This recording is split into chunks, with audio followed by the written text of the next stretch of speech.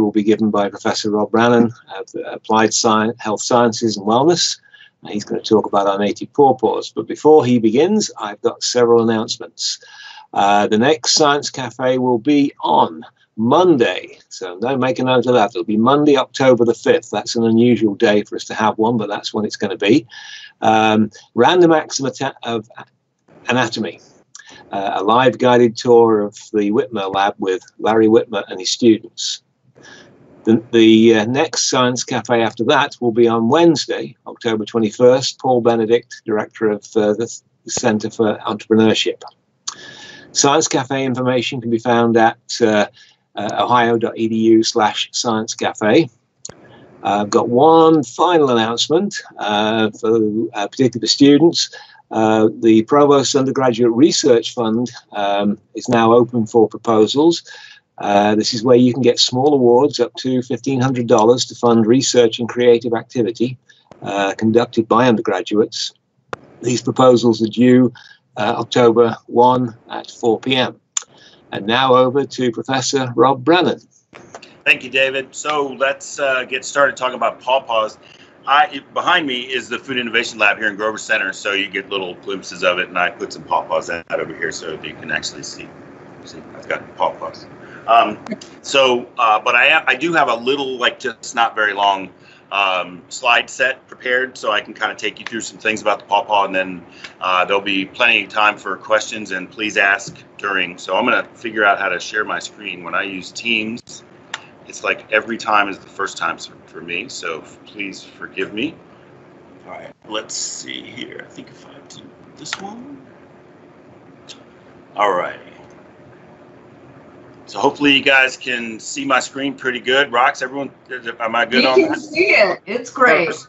Perfect. So this is my first slide with my title. You need to know about that. I am a food scientist in the Division of Food and Nutrition Sciences here at Ohio University. And so what a food scientist does is we're not the people that grow the food. We're the ones that take it once it's been grown, either harvested or uh, if it's of animal origin.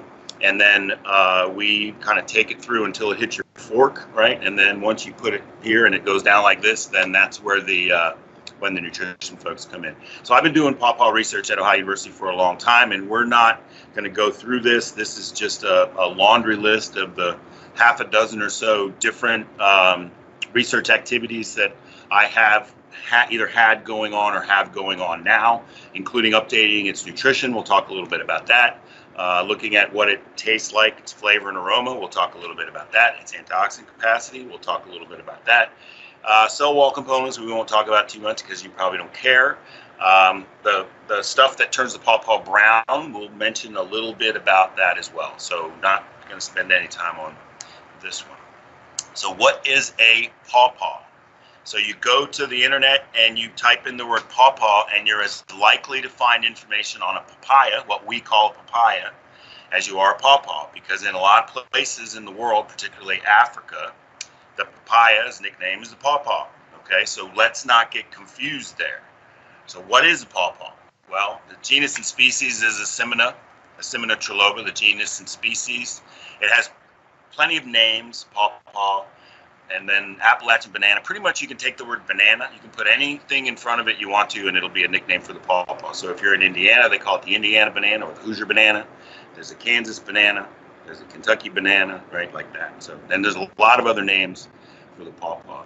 Um, so here's some science, right? It is Science Cafe. No, I'm not a botanist, but the taxonomy the pawpaw, kingdom, phylum, class, order, family, genus, species if, I want you to pay attention to the bottom three, particularly the family, okay? Annonaceae family, all right? And I'm going to ask you a question so you can start thinking about it now and you can shoot your answer on the chat, which is what's so special about the pawpaw compared to every other member of its family, of this Annonaceae family, all right? So maybe to help you get there, let's look at some of these. So these are going to be cousins to the pawpaw. So here's a pawpaw cousin, sugar apple. This guy's a little bit smaller than a baseball. You can see the, the, the tissue and then the seeds embedded in the tissue. That's going to be very common for these annonaceous fruits. So if you've had one of these, let us know.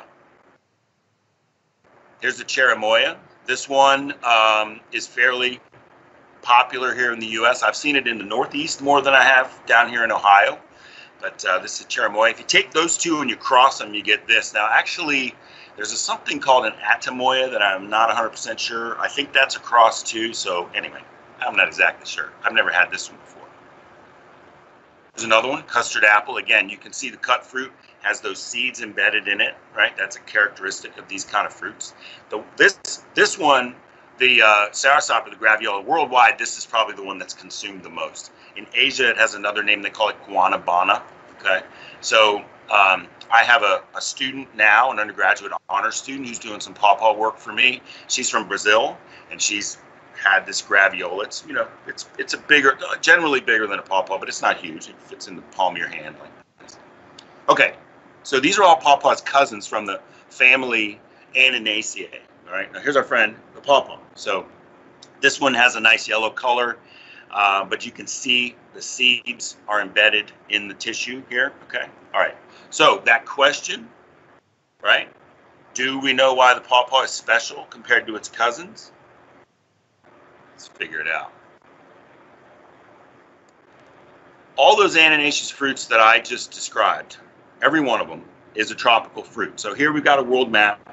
The tropical area is shown in this brown or red area, right? So we're talking about Central America, uh, most of South America, Central Africa, the uh, subcontinent in Asia, and the Pacific Islands, tropical. Okay. All those fruits are tropical.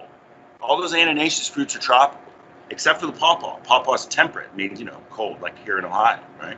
So the pawpaw is a tropical fruit. It's a it's a fruit of a tropical family, okay, but it doesn't grow in a tropical climate. It's the only fruit, well, that I know of, which means there might be others. It's the only fruit in the Annonaceae family, in this tropical family, that is temperate, that grows in a temperate climate.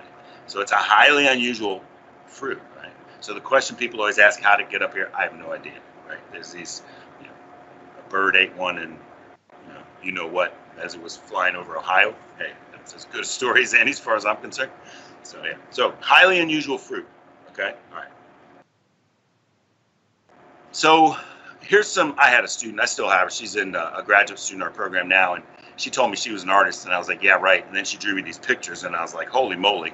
Uh, in fact, this poster back here we made out of these pictures. So these are just representations of different parts of the pawpaw. So the tree can be pretty big, right? You know, 15, 20 to 30 or 40 feet, the big ones. Um, usually they're not that big? And it, it, it's characterized by this long, long, long tap root. So one thing I do know about growing pawpaws trees is that if you try to transplant them and you don't get that taproot all the way out, you got a dead pawpaw tree. Uh, so um, you can see the beautiful purple blossom that comes out in the spring and representations of the, uh, the whole fruit and then the different shapes that you can get cut fruit. So when it comes to growing pawpaws, I went out the other day and I counted, I have an acre and a quarter, and I counted all the pawpaw trees on my property, and I come up with the same number this year as I did last year, which is zero. Okay, so I don't have any pawpaw trees on my property, so I'm really not the grower guy.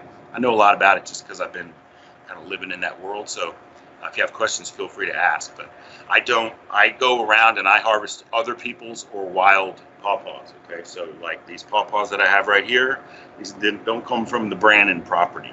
Okay. One of the things I think people don't realize about pawpaw is that there's a lot of different varieties of these fruit, right? If I told you that there's this green apple called a Granny Smith, and it's really sour and it's green, and then there's this red apple, right, like a Honey Crisp or a Red Delicious or something like that, and it's very sweet, you wouldn't think anything about it, right? But for some reason, people tend to think there's only one kind of pawpaw, but that's not true, right? There's a lot of different varieties. You have big ones and small ones, and ones that have more more cream-colored fruit, and one that have more orange fruit, you know, small seeds and big seeds, and all that genetic variation that exists within the pawpaw. And the wild ones are pretty good too. Hey, Rob, I have yeah. our first question based on got? that slide. They want to know what's your favorite pawpaw for eating? Out of those varieties, how many have you tried and which ones are your favorites? So I've tried a lot of them. On this sheet right here, I've tried every one because I've worked on these. I've probably had 40 different varieties of pawpaw. Um, the ones that I have here are uh, from a local tree that's gotten its name, uh, Rana, R-A-N-A. This this is the best I've ever had, but it's only a single tree. It hasn't been propagated as far as I know. This is lit- these are literally the best that I've ever had. On this list of the ones that you see here, these dozen or so varieties on this list, I really like Susquehanna's flavor. The problem with Susquehanna is that they they grow big and round, right, rather than long and skinny, and they crack. So a lot of the fruit that comes off the tree is cracked and you can't use it, right? But they're really good. Um, the ones that have the little uh, register, and Susquehanna is one of them, has a little registered symbol next to it. Those are our trademark pawpaws. So KSU is Kentucky State University. Atwood is a really good pawpaw. The other ones come from Peterson pawpaw. Neil Peterson's kind of the guru of pawpaws over in West Virginia. So yeah, so I've tried a lot of these. Thank you. My pleasure. Okay, pawpaw nutrition.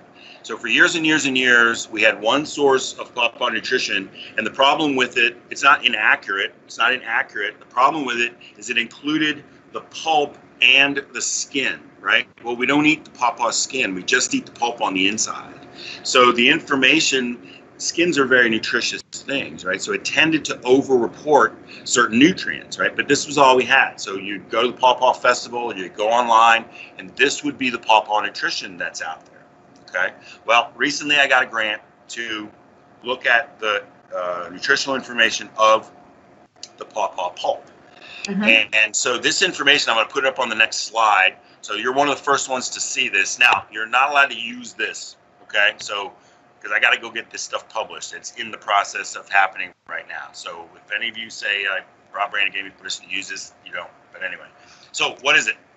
So one of the things we did was we started comparing a, a, serving of pawpaw to a serving of these other fruits rather than a weight to weight because serving size is probably how we're going to consume it. So pawpaw is very, very similar to a banana nutritionally. Okay? That's not a bad place to be, right? It's not a bad place to be. So I'm not going to go through these numbers, but if you look at the pawpaw, it's comparable in protein. It's low in protein. It's not a high protein fruit. It's comparable in fat. It's low in fat. It is high in carbohydrates, especially fiber. Okay. So on a on a on a ser- serving size basis, it tends to have more fiber than any of the other fruits. That's a good thing, right? It's um, it's not particularly high in vitamin C. It's middle of the road in calcium, iron, potassium, right? So it's a good solid fruit as far as its nutrition goes. It's like a banana. That's a good thing. Okay. So, pawpaw antioxidants. So, um, let's see, maybe, maybe can I get rid of you here, Roxanne? Let me see. I don't know if you can see the little cartoon. It's not mine. We can okay. see your cartoon. Mm-hmm. Okay, good. I don't I don't even know if it's funny. I just needed some something to fill that spot on the slide. So there are these compounds in foods that are called antioxidants. I'm sure you've heard of them before. And all the scientists that are looking at this slide right now must be going crazy because it's not labeled and any of this kind of stuff. So, but there is a, a pretty straightforward uh, test that you can do in the lab to determine. Um, you can measure the amount of phenolic compounds that are in food. Okay. And phenolics, um, every phenolic is an antioxidant. There's probably a few well, there are a few antioxidants that are not phenolic compounds, but the vast majority of them are. So this is kind of an index of how many antioxidants are in there. It doesn't tell you whether they're good or bad or you know whether they target certain things. It's just how much is in there. So blueberry, pomegranate, cranberry, these are the ones we typically talk about being very high in antioxidants, and they are on a on a comparative basis, a kilogram basis. I, I surveyed pawpaw for even more years than this, and they're not they they never come up as high as a blueberry, or pomegranate, or cranberry, but they're rock solid. I mean, they're right in the game.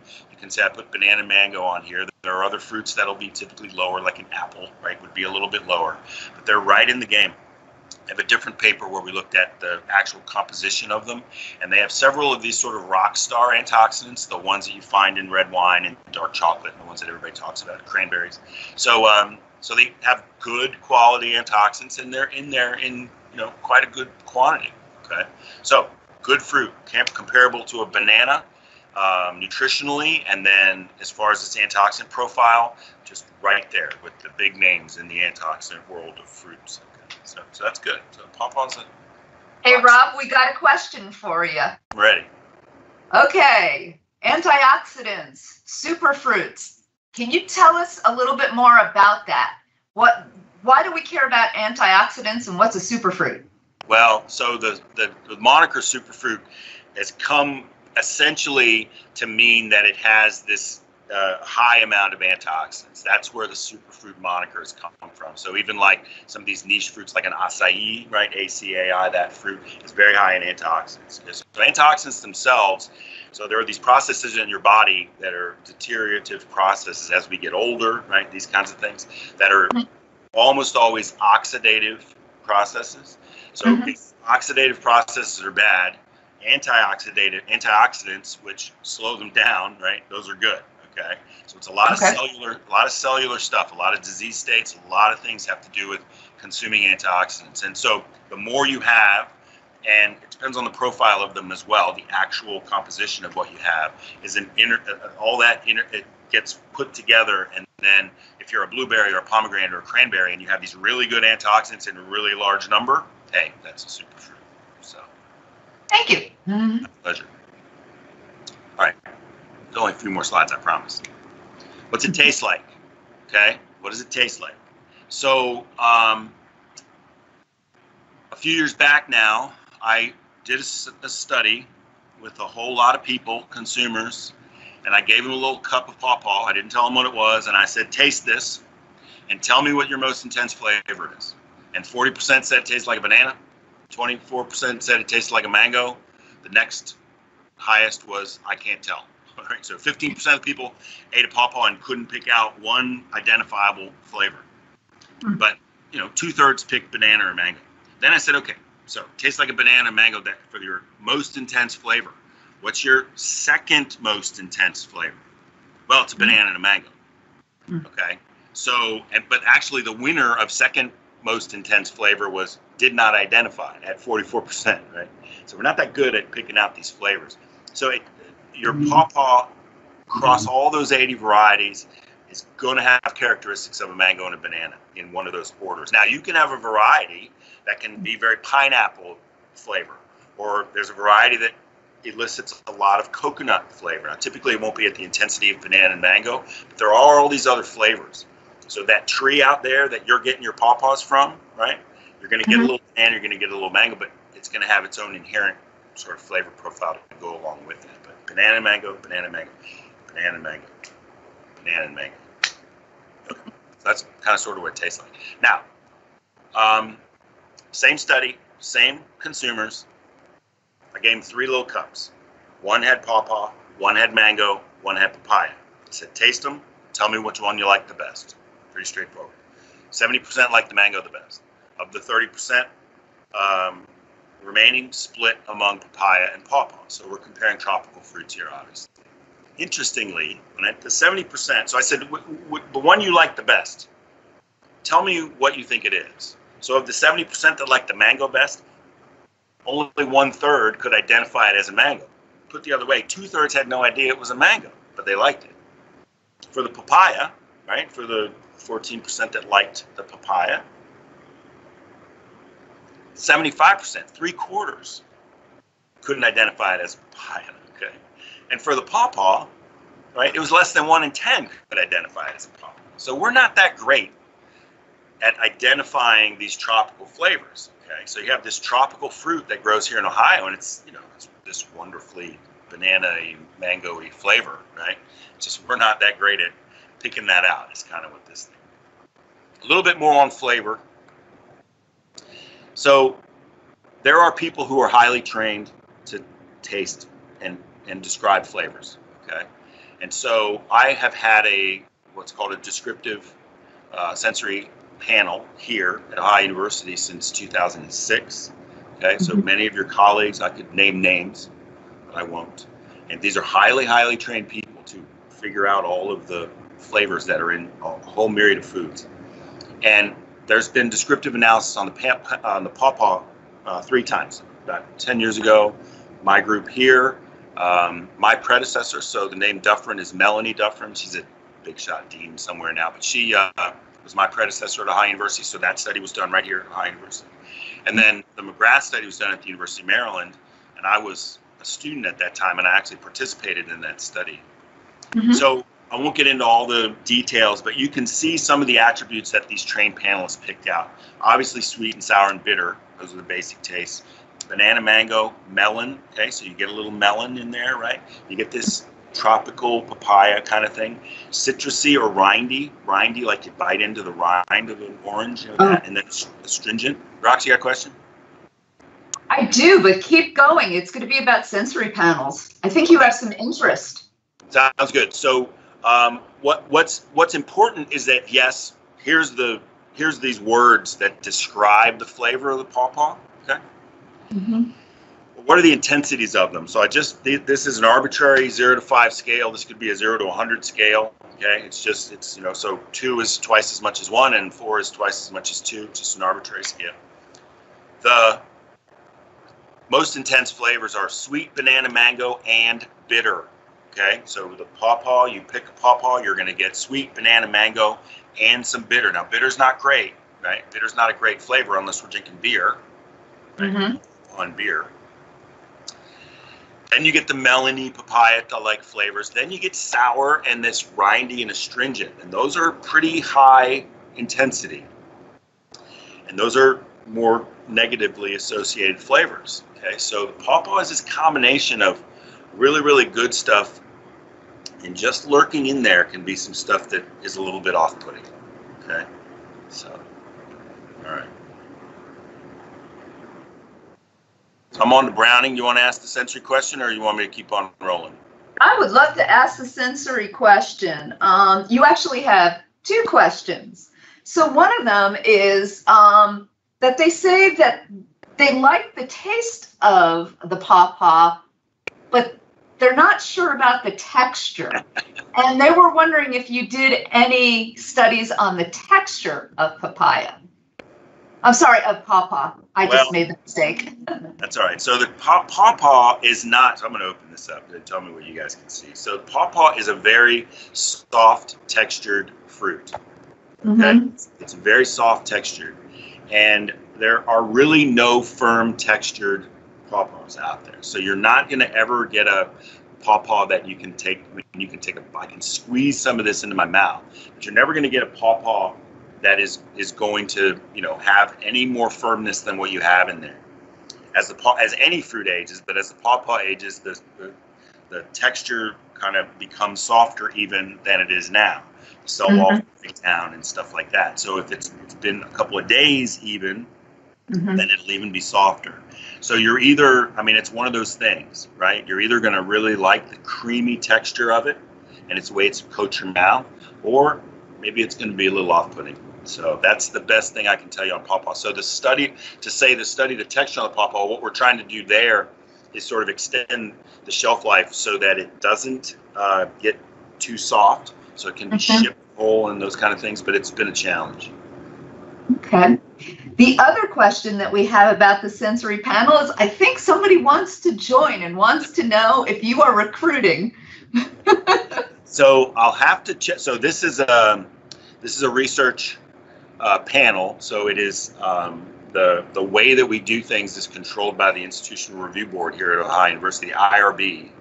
Uh-huh. Institutional Review Board for the Protection of Human Subjects and Research. So the way that I recruit is dictated by that approval. Um, but certainly, if someone wants to reach out to me um, and um, and send me an email, then we'll see. Right now, because of COVID, we're kind of on hiatus, as you can imagine. So there is human subjects research that's happening, but there's very strict protocols that are in place. And so I've just been kind of waiting to see, you know, but yeah, so yeah, if you're interested, let me know. Now, the thing about being a, a taster is to be one of these expert tasters, you have to be screened.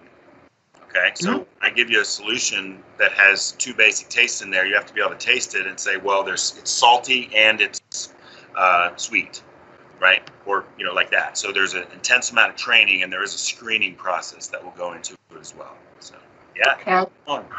I do have one more question. Uh, they're uh, they're just popping up right now. Um, so, do you know what gives the pawpaw a fermented taste, even though it's not fermented? Well, that's a good question. If you look at our, um, at our, oh, I may have taken the one out. The uh, the um, study that I did, that fermenty kind of taste was, was it rolled into it like a generic tropical fermented taste. So I know exactly what you're talking about.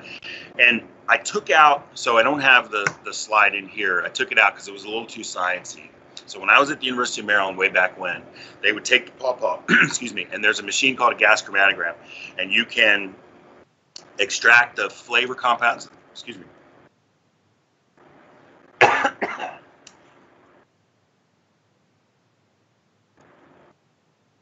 Sorry about that. You can extract the flavor compounds of the pawpaw and identify what they are.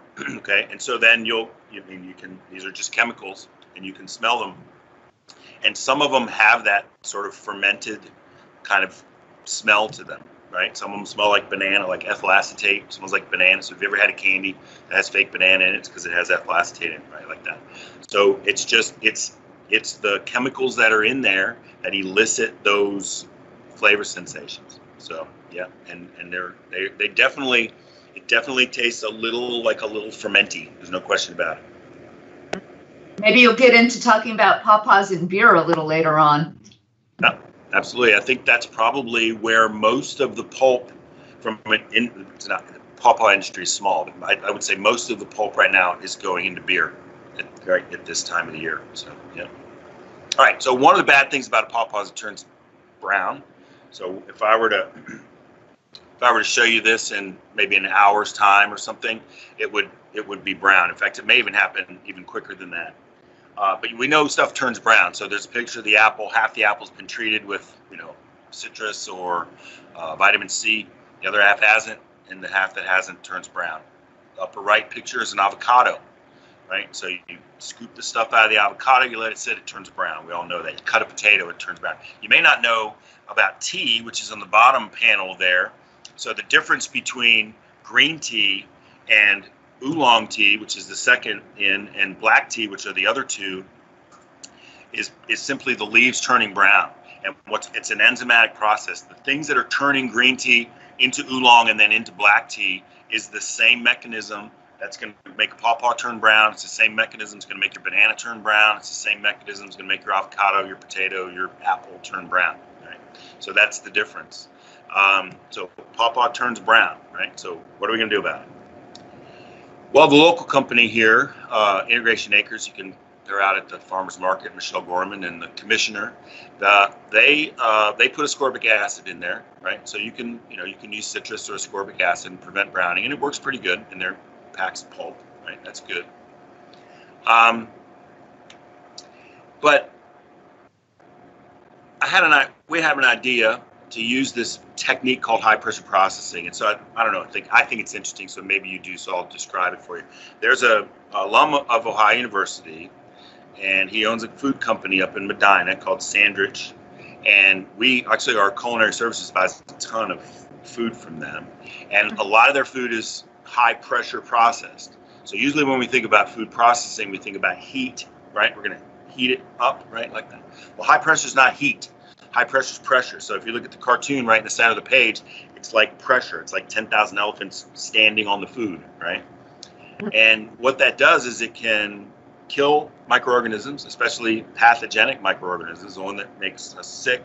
And it can also inactivate enzymes, the enzymes that turn the food brown, but bunch of other things too.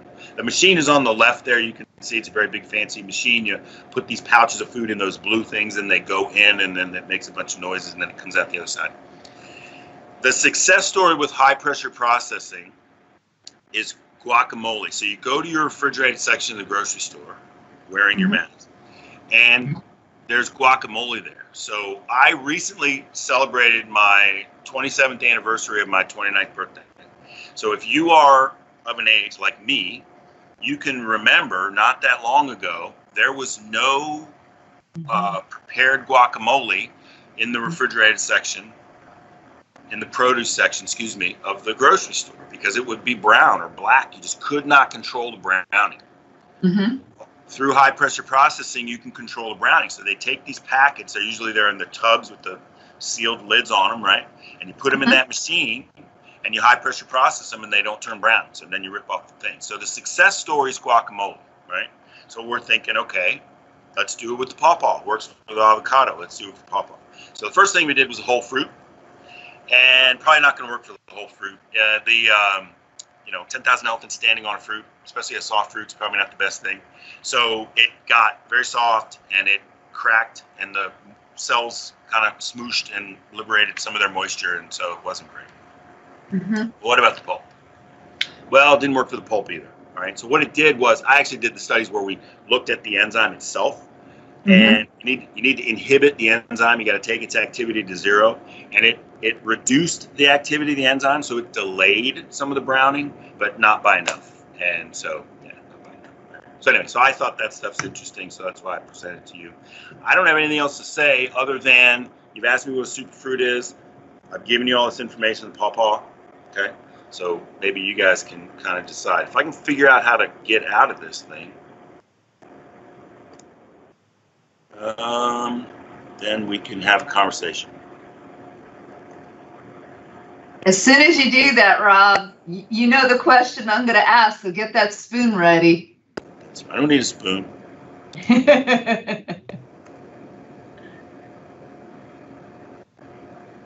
Okay, so, so the question is, is people would like to see you eat a pawpaw. How do you open it up and scoop it out? Well, I've already opened this one, and I'll, and I'll eat off this one. But uh, one thing I will show you is um, the uh, two. Me see, maybe I'll do this one. So, uh, pawpaw has a fat, has like a fatter side and then a more narrow side. And if you go in on the more narrow side, if you go in that way, then you you'll come right, you come, I should, I should wear gloves, but you'll come right across the seeds, okay? So you can see, well, I've turned it this way. So you, I don't know if you can see this or not. Where's the pawpaw? So the Right there, now we can see it. So the seeds are going this way across the fruit. So if you come in that way, right, then you're not never going to be able to get it in half. So you got to come in the other way, and then you can just peel off the skin, right? You can peel off the skin and try to separate out the seeds. Now what I do, like this one, I just rip this one in half and then I'm going to scoosh this part, I guess I need to be a little higher, scoosh this part into my mouth. Right. And then you just work the, I allowed to spit? Sure. Okay, but before you do, now There's I have a question. There's the seed. So that's how what I eat pawpaw.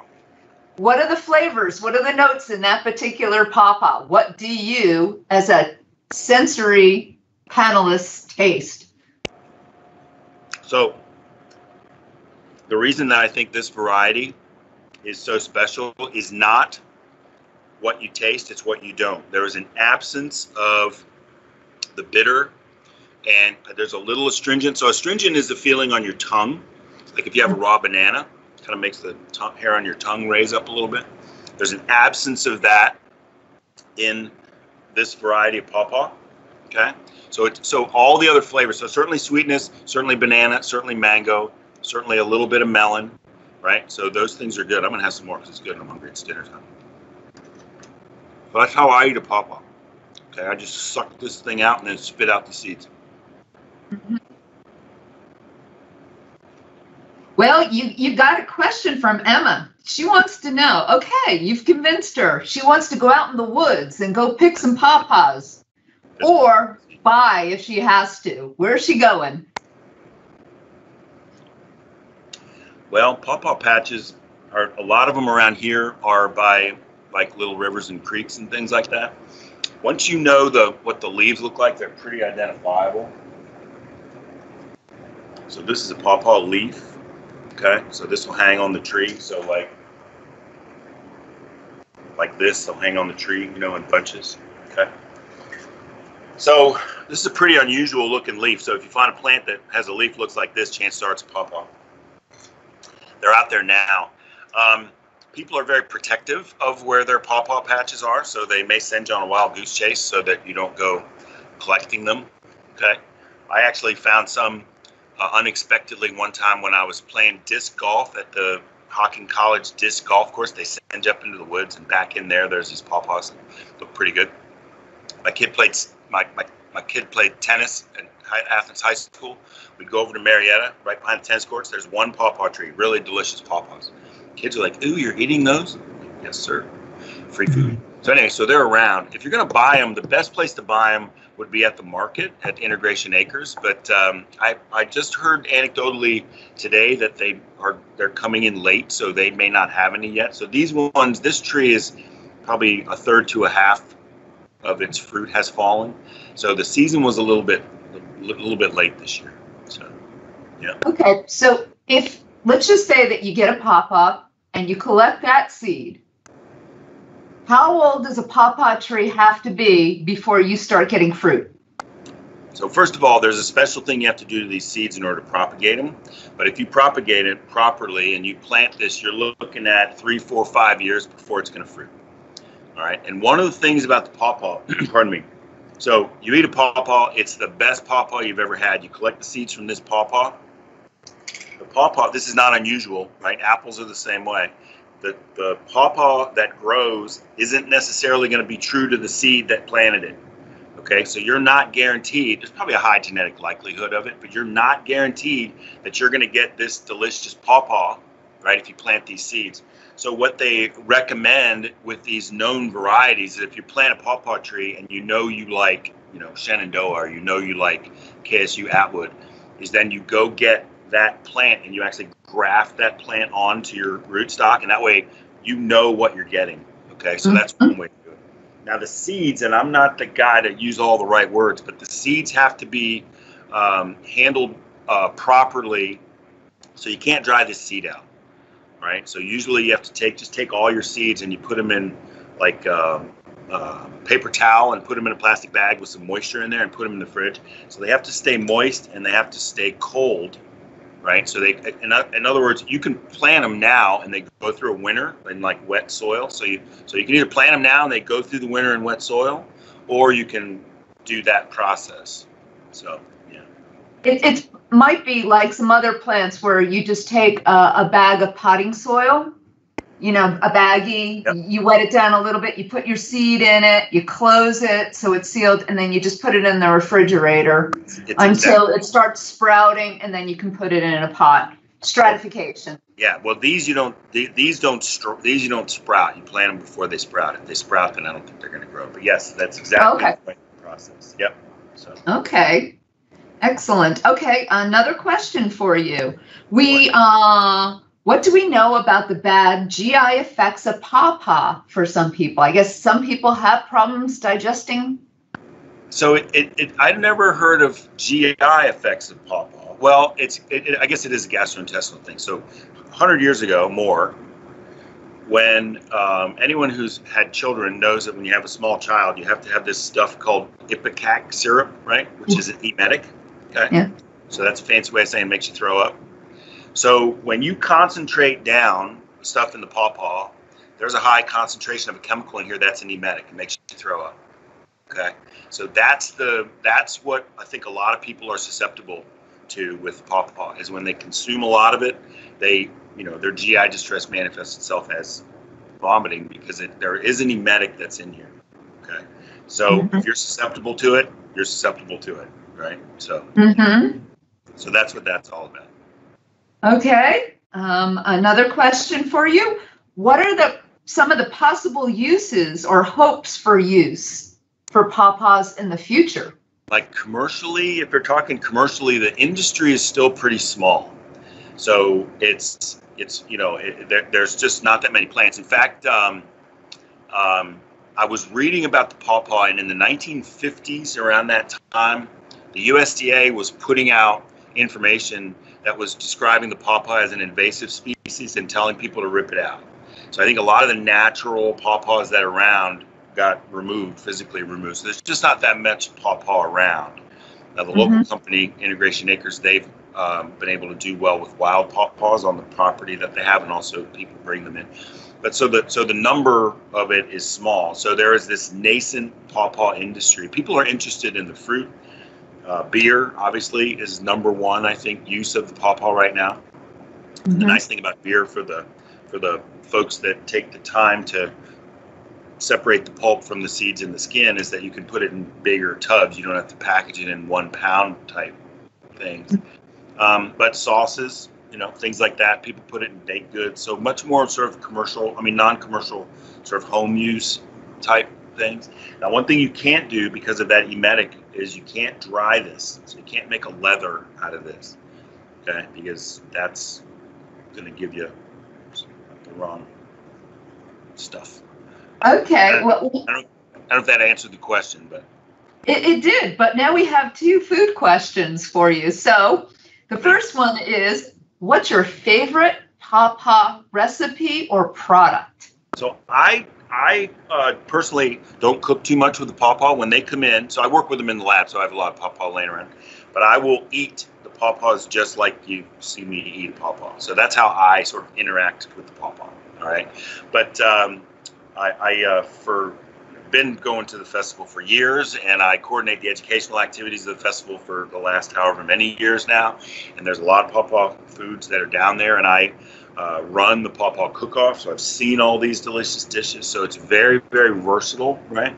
People uh, tend to like the pawpaw ice cream, right? So Snowville makes pawpaw ice cream, and uh, it's really, really good. It also works well. So if you think about the negative flavor characteristics that I've described, the bitter and sour and astringent, things like that, things where those aren't going to be um, necessarily bad is a good application for it. So a lot of like mustardy kind of sauces, like biting, you know, salad mm-hmm. dressing sauces and things that'll work really, really well. Um, also using it in the same way that you would use apples or bananas in baked goods again, you know, is is, mm-hmm. is, is, really delicious.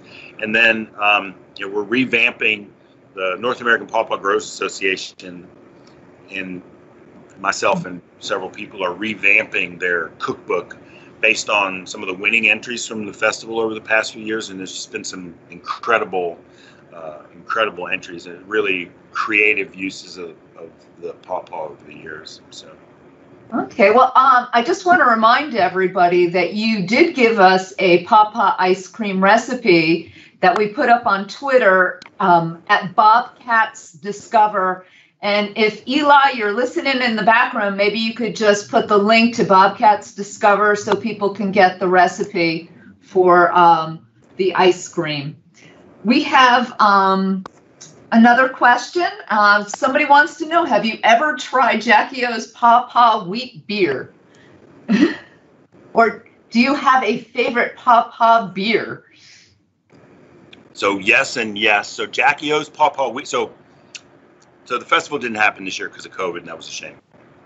But when I uh, took over the educational activities of the festival, one of the first things we did was we started having a brewers roundtable. We'd bring all we'd bring all the brewers in from all the beers at the festival, and they would talk about their beer. And mm-hmm. so uh, um, BC at Jackie O's is no longer over there, but he did it for the past however many years for Jackie O's. And that recipe that for the pawpaw wheat actually came from the Marietta Brewing Company. Okay, and um, Kelly Sauber, who now owns the cider house in town and the distillery across the street, is the one who developed that recipe. And it's a very high uh, alcohol, uh, kind of a very high alcohol version of their raz wheat, right? And when you put the pawpaw with all that sugar in there, it ferments, so it's very high in alcohol, and it's mm-hmm. good. Um, the other breweries in town um, make really good pawpaw beer. So last year, uh, so um, me get my schedule right. We're also running a homebrew contest at Pawpaw Beer at the festival, and what we did is the winner of the homebrew contest, Devil's Kettle, the, one of the mm-hmm. breweries in town, will make that beer, and the winner from the Holrich brothers up in um, Logan was a Pawpaw Gose, which is a kind of a sour, salty sour with coriander. It was delicious, and mm. was, they made it at the festival last year. It was wonderful. And then uh, Little Fish makes their uh, why can't I think of the name of it off the top of my head? But there, theirs is uh, also a, a, a, sour, pawpaw sour. It's really, really good. Uh, why can't I think of it? It's flitting on the edge of my consciousness, so forgive me. So the folks in town make really good ones. Maple Lawn Brewery, which is down in um, in uh, Pomeroy, they make a pawpaw cream ale that at the festival is perfect because usually it's hot as you know what, and it's a lighter beer that has a lot of pawpaw flavor in it. Mm-hmm. Um, Weasel Boy up in um, uh, I think they're in, are they in Zanesville? Anyway, they are at Bennett J is the brewer up there. They, uh, I forgot which beer they make. They make the Paw Paw, I can't think of it, but theirs is really, really good too. Uh, the new brewery in Jackson, not new, three or four years old, they come to the festival and they, and then a couple of the guys from Columbus. So there's plenty of them out there. This is the time. So they're still, they still should be in production. So. Okay. Well, it sounds like a lot of people are going to be tasting a lot of products. Um, somebody's asking, how do you add nutrition information for a food to the USDA database? And I guess the first thing I'm going to say is, I hope you didn't take a snapshot of that slide that Rob said you couldn't use until he publishes it. But Rob, once you publish that data, will that information be available so people will have a better sense of the nutritional value of the pawpaw. So that was the justification for the grant was the fact that we did so there was pawpaw information in the USDA nutrient database until 1963. Okay. So, um, and then it wasn't there anymore after that. No one really knows why. Maybe because they ripped out all the trees in the 50s. Who knows? But anyway, so it hasn't been there for 57 years. And so when we started this project a few years ago, uh, we contacted the uh, USDA and we asked them what you have to do. And it's kind of a it's kind of a big thing. I won't get into all the details because you can't just go and like take one fruit and then a- analyze one fruit and say that's what it is, right? Mm-hmm. So they want a representative sample both geographically and across all the varieties and these kinds of things. And there's not that many pawpaw out there, so we kind of negotiated back and forth and came up with a sampling plan that the USDA was uh, willing to accept. And then, interestingly, since we did that, now the the foods that can enter the database, uh, they need to be analyzed at a specific, like USDA approved lab. And so the place that we had it analyzed was a contract uh, lab in Cincinnati, Q Labs, which actually is owned by an Ohio University graduate. So, anyway, so they're um, they're um, they're not on the list, but they're perfectly fine. So we've been communicating with the folks from the USDA. I think everything is just because of COVID, everything is just kind of slowing down right now. So it's going to be in the database and it's going to be in there pretty soon. So. Oh, that's excellent. Yeah. Okay. Somebody wants to know. They went out to their tree. They had pawpaws. They weren't quite ripe. They went back. There were no pawpaws. What ate them?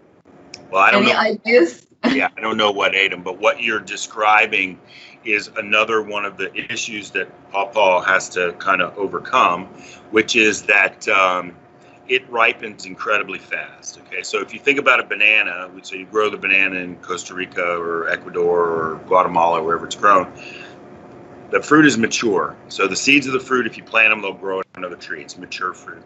You can put that on a ship, whatever it is, and you can ship it to wherever, Columbus, Ohio, a big warehouse. As long as you keep it away from the ripening hormone, which is called ethylene, it'll stay in this sort of hard, you know, you can hammer nail with it, banana. Then you put the enzyme, it's just a gas, ethylene, small little gas, and they start to ripen. And within a week or so, they'll ship them down to the supermarket here in Athens, and they have a little green tip, and you reliably know that three, four days later, it's going to have the spotty ones, and you know, Aunt Thelma likes the ones with the spots on them, and Uncle Joe likes the ones with the green tips, you know, that kind of thing. Pawpaw's not like that. It's the same kind of fruit. It goes through that ripening process, but there's no way to slow it down. So once it gets to be mature, it's once it starts to ripen, it's going to go fast. And what happens is when it ripens, then it will fall off. It'll, it'll literally fall off the tree. Okay. Oh. So a lot of fruit that you collect in the wild is on the ground. It's falling off the tree. And so then there's critters. I don't know what they're, whether they're raccoons. I've heard of dogs, you know, that, I mean, uh-huh. They like the pawpaw too. So deer, I don't know, deer eat pawpaw? Somebody probably knows that. Anyway. Um, I happen to know they don't eat the tree itself. So, because uh, I have a huge deer population and they don't eat uh, the trees, but sometimes they'll rub against them. So, a question then is can you pick the pawpaws when they're not quite ripe? And then can you get them to ripen by like putting them in a bag with a banana or something like that? No, that's uh, there's two different kinds of fruit. Pawpaw is in this category. There's two different kinds of fruit. There's kind like the banana, pawpaw, apple, avocado, the ones that you can ripen like that. And then there's the other kind. The, the fancy word for the fruits like the pawpaw is climacteric, and the non-climacterics are like an orange, for example, or a strawberry or a grape. They don't go through any sort of burst of ripening, right? They just sort of decay over time. So we're not talking about those. The rest of them, they you, they have this, you know, they kind of seemingly going along, and then boom, they go through this burst, right? They ripen. Okay, and so once you get one that's ripe, it's going to spread. It, it will naturally produce the ripening hormone that I described previously, ethylene, right? So so mm-hmm. it'll it'll cause the rest of them to ripen. So one bad apple will spoil the whole barrel because the one bad apple is producing that ethylene, causing the whole thing to flash up. So the question is a really good one, and it's the best way I can describe it is that once the fruit becomes mature, for a banana, you've got time. You've got a week on the tree where you can pick it before it's going to just flash off and ripen right? And you can pick it, you can put it on the boat, you can keep the ethylene away from it, manage it that way. Pawpaw, the time from when it's mature to the time when it just goes and is going to ripen by itself, nobody knows. But it's probably, I mean, literally, it's probably minutes to hours, right? It's just an incredibly short amount of time. You just can't control it. So, and I've never heard ever of a pawpaw that has been picked, that has been sort of stored for a while and then caused to ripen after the fact. So it makes shipping them whole, makes a whole fruit shipment very difficult. Because by the time you get them to where you're getting them, they're, you know, they literally have to be picked, packaged, put in the mail overnight that day. So, yeah, very expensive process. So. Well, then we have another question. Um, they want to know do different varieties ripen at different times? So not only do different varieties ripen at different times, there's not a what they call a once over harvest. So if you have a pawpaw tree, you're going to be picking ripe pawpaws off that tree for several weeks, you know, two to three weeks, maybe even as long as a month. Okay, so even the same variety on the same tree is just going to drop fruit over a long period of time, right? So a lot of a lot of commercial harvesting is, you know, you put the nets underneath and you have some device usually attached to the front of a truck that bonks into the tree and causes everything to fall, and then you scoop all that off, right? Can't do it with pawpaw because you've got hard as a rock fruit and over mature fruit as well. So yes, by variety, but also by tree. Yeah. So. Somebody points out. Uh, sorry, I'm just reading. Um, it looks like the state of Ohio has two different official fruit trees and they say that one of them is the tomato and the other one is the pawpaw. Is so is that correct? I don't I don't think tomato grows on a tree. So I think tomato is the, tomato is the official fruit of Ohio. Pawpaw is the official tree fruit of Ohio. So I think that's the distinction. I, have got it. Um, I know that a long time ago there was an argument about tomatoes being fruit or vegetable, but okay, now I know on what side Ohio is. Um, last question, maybe. Um, how are we going to market the pawpaw to make it a substantial market for Southeast Ohio? That's a good question. Can I go back to the fruit question real quick? Yeah, go for it. Just quickly on the fruit question, there's different parts of the plant that you can use for for food, right? You can use right. the underground, the bulbs and the tubers and the roots and the what's this, the stem and the yep. leaves and the flowers and then the fruit. Okay, so fruit on a plant carry the seeds. That's just what it is. So then this whole thing about whether it's a fruit or vegetable is basically how you use it from a culinary point of view, right? So that's this sort of the difference there. So just however you okay. come down that one is fine. So the question you're asking is a great one, and it's one. First of all, that the industry isn't at a point where it can really, really grow fast, and like any kind of agricultural industry, it takes time in order to do that. So part of the work that the way part of the way that I've been trying to approach this is you need to identify the varieties that are going to do the best here and those varieties are going to give you big fruit. We need to have the skins to be as tough as they can because the harder the skin is the easier it's going to be to separate it off. Part of the problem right now is when you try to process this thing the skin's so soft you get a lot of skin in there and skin's very sour Um, you'd like to have not that many seeds, right? So you have more fruit. You'd like to have bigger fruit. You'd like to have sweet fruit, right? You'd like to have fruit that gives you this once over harvest. So compared to the apple industry or you know any of these mature peaches, right? We just we know so little about the pawpaw and their different varieties. So we're a while away from that. Okay, um, if you could compare it to a pomegranate, okay, so pomegranate is a fruit that we here in the United States we see one variety of pomegranate. That's it, one. And the reason we only see one variety of pomegranate is because there was a benefactor, okay, who put all this money in, found this one pomegranate that grew well in the desert southwest, um, and started growing it, and then started funding research. Okay, and that's when pomegranate got this halo of health around it. Right, everyone wants to eat mm-hmm. pomegranate, but it's a yeah. single variety. Now, there's plenty of varieties of pomegranate out there. It's just we only have one here, and so we're nowhere near that with the pawpaw right now. Right, so until then, it's just going to be us, you know, more trees come around, we're going to have more awareness. We're going to sell it at the farmers market. Maybe there's a company that has enough of it where they can get it into their local grocery store for a time in the fall. The packaged industry, frozen packs, or those kinds of things, just increasing awareness about it that way. So. Okay. Well, a follow-on question from uh, Sydney. She they want to know how does the pawpaw industry compare here in Ohio to other countries, but also to other states in the U.S.? So there's very so let me answer the question this way. There are other countries that grow the pawpaw. In most cases, and I think in all cases, but I'm not 100% sure, the the pawpaw was brought to those countries from the United States. So you can almost always trace it back. So there's pawpaws in Italy and Romania and places in Central Europe um, there's a lot of pawpaws in Korea.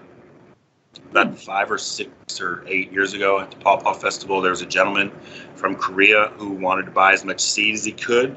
And actually, the price of seed was more valuable than the pulp for a couple years because they were um, they had a goal in Korea to plant one pawpaw tree for every person in Korea. Okay, because they believe, okay. I need to stop you there. Why? That, well, that's they, just fascinating. Because they believe that it is a superfruit, that it has these qualities beyond uh-huh. basic nutrition that everyone should be eating. They have the climate for it. So I, I haven't followed up with that in terms of like where those trees are now. They must be bearing fruit at this time. So there really isn't an industry that I know of outside the U.S. And state to state, I mean, you're really kind of in the epicenter of where it is here Kentucky, Ohio, Indiana, a little bit in southern Michigan, um, and but it's very very small. I mean, it's just small. It's it's local farmers with a few acres of trees, or it's people that are harvesting wild pawpaws and trying to process them down. The largest pawpaw processor in the world is here. It's Integration Acres over in Albany. Uh, Michelle Gorman and Chris Chmiel. So. Okay, um, somebody wants to know if there are any pawpaw trees planted on Ohio University property, and if not, why not? Well, I haven't I haven't seen any intentionally.